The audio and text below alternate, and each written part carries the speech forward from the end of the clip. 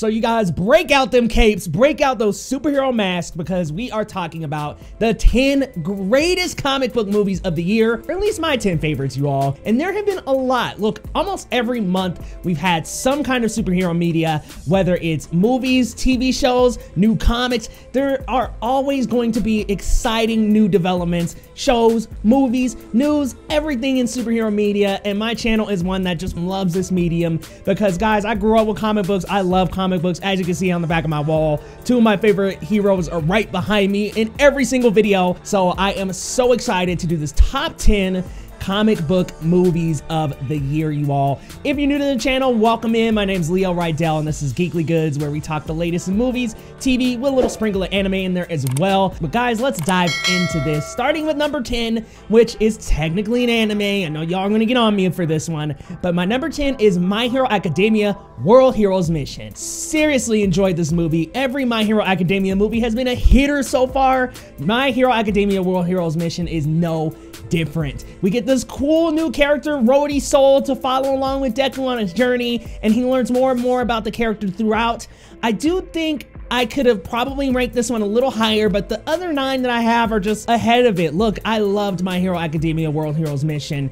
I just don't think it stands up to the second movie in the series, Heroes Rising. Heroes Rising was just mind-blowingly good and I don't think any of the movies are gonna get to that caliber again so it kind of takes away from them but let's be real that super move at the end of My Hero Academia the movie was so good. Look our boy Izuku Midoriya is growing up every single day and I love seeing him pull off the amazing feats he does and this time he did it alone you guys. So great great movie coming in at number 10 doesn't mean it's a bad movie. I just got nine ahead of it. So let's move on to number nine with Zack Snyder's Justice League. If this had not been four hours, I think this movie would have moved up in my ranks probably three or four points, but man, that four hour runtime brings it down a bit. But getting a movie that corrects the mistakes of the 27 Justice League is something that I think we all wished for.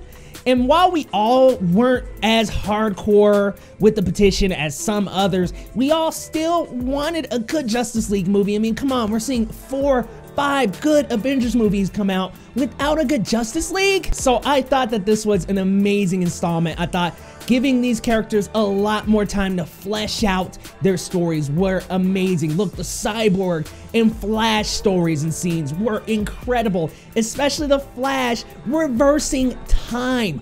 Great graphics, awesome visuals, way better characterizations than the 2017 way better so i love that we got this version of the justice league and not that 2017 justice league that we just pretend doesn't even exist y'all let's move on to number eight which is a tv show the first tv show on the list Superman and Lois, you all. Now, if you know me, I have been talking up this series so much. I loved Superman and Lois. I thought it was a fantastic series beginning to end with great characters, and it blended a little bit of that emotional story that we had in Smallville into this movie. Not that it follows Smallville at all, but it just blends and takes those emotional pieces and moments and elements and puts them into this story. We get two different stories really, following Superman, his powers, and also him fighting crime, along with following his sons through everyday teenage life. Gotta love the blend here, gotta love the characters. Jordan, Jonathan, love the twins, and I just love this family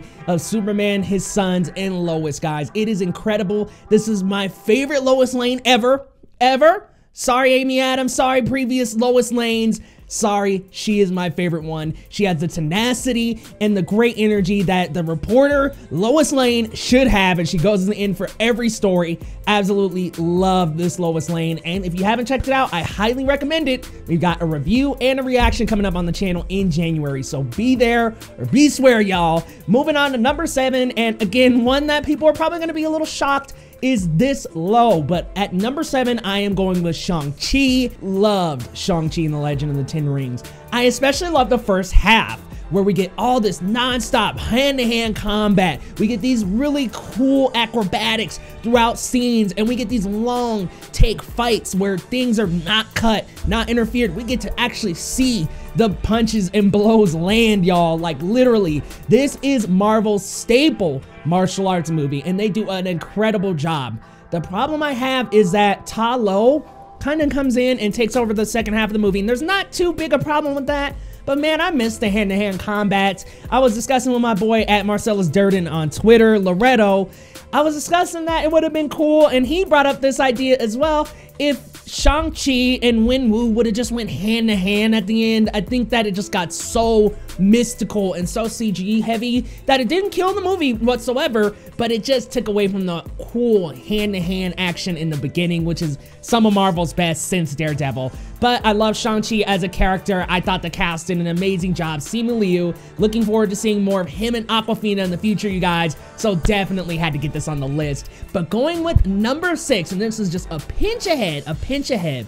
I'm going with The Suicide Squad. The Suicide Squad was my favorite DC film of the year. I thought that it was a lot of fun. Idris Elba was great. Look, I'm not looking forward to the Peacemaker show, but I love John Cena as a Peacemaker. I thought he did an incredible job. I thought he was funny with the pack of the Suicide Squad characters.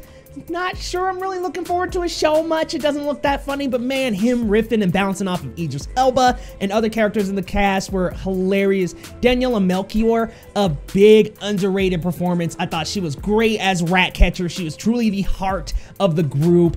And man, Polka Dot Man, man had to go and die like that on us. But such a fun movie. It's crass, it's bloody, it's action packed. And look, I know that Margot Robbie's role was very dialed down this time as Harley Quinn, but I thought she was a lot of fun and I loved getting to see her take out all those soldiers in the compound where she was being held.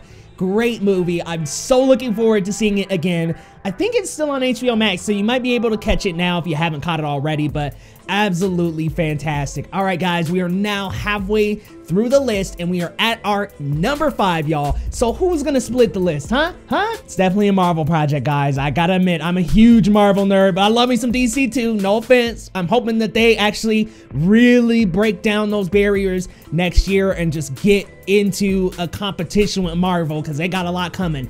But let's go to a Marvel TV show this time with Loki, you guys. Loki had so many implications for the multiverse, for timelines, the way that the MCU is going to handle time in that finale. I thought it was grand. I thought they paid off their finale the best out of any of the shows. And I thought, what a great way to introduce Jonathan Majors' character here. Give us this variant of Kang the Conqueror, He Who Remains. I thought that was such a brilliant way to end Loki and to just give us this madness that's going to happen in Multiverse of Madness in Loki Season 2.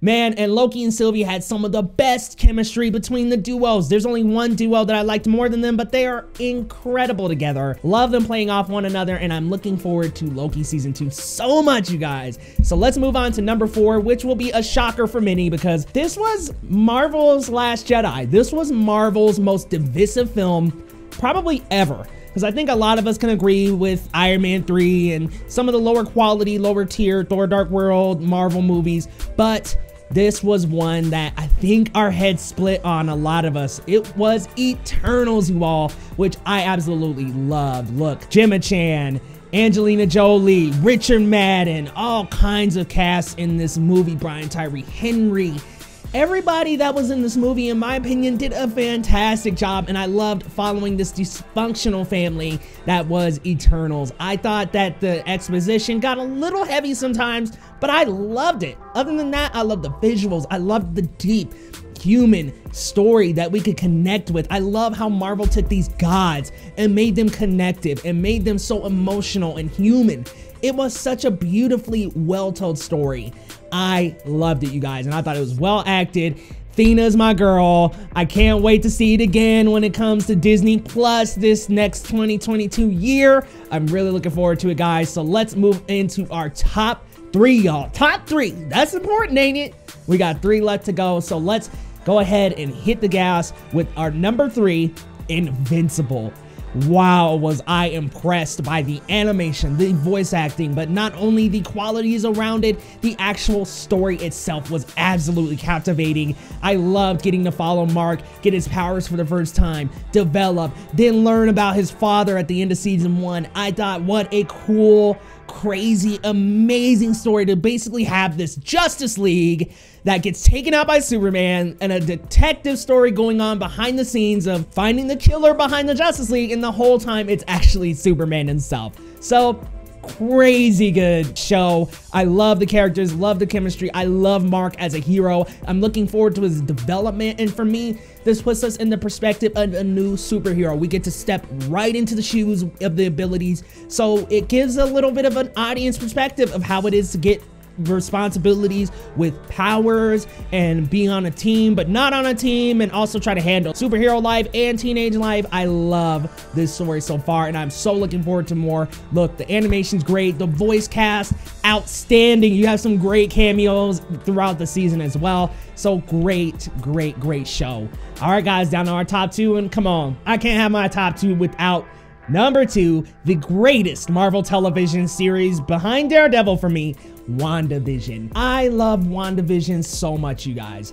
WandaVision was full of theories, mysteries, and so much craziness every single week. I loved the custom intros, the music, and Paul Bettany and Elizabeth Olsen were just incredible together. I'm so glad that we get we're getting some Emmy love, some nomination love because those two definitely deserve it. Kathryn Hahn, seriously, as Agatha Harkness was great, and she won some awards across the board. So I'm so happy for her because she deserved it.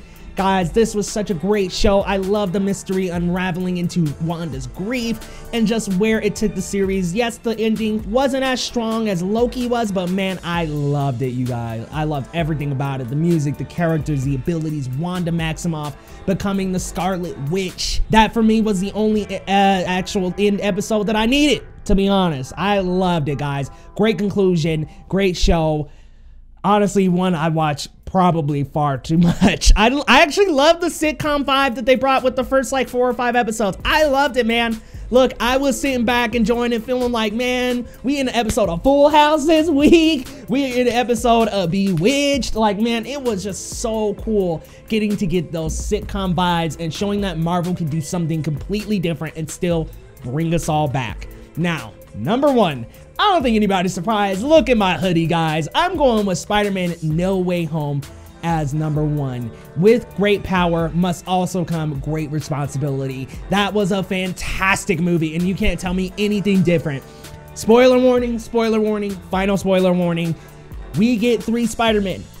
This is the dream come true that we were all looking forward to. We wanted our three Spider-Man, Tobey, Andrew, and Tom, and we got all three of them on screen together what a dream come true. And they had incredible chemistry together. But not only that, you get great villains back. Willem Dafoe as Green Goblin, Alfred Molina as Doc Ock, Jamie Foxx as Electro, Thomas Haden Church as Sandman, and uh, Rhys Ifans, excuse me, as Lizard.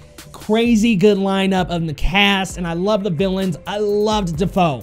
Seriously, it was like each of them stepped out of the end of their own movies and they brought that energy back. But Dafoe, easy standout. I would nominate him for supporting actor in a heartbeat. So man, I'm hoping he's coming for an Oscar somehow. Not this. I mean, he was in Nightmare Alley. He was in a couple other movies this year. Our man been busy and working, so let's hope he gets some kind of recognition for that. But you all, thank you so much for tuning in to my top 10 comic book movies and TV shows of 2021. Please let me know down in the comments, what are your favorites? Because guys, this is like the genre of my channel.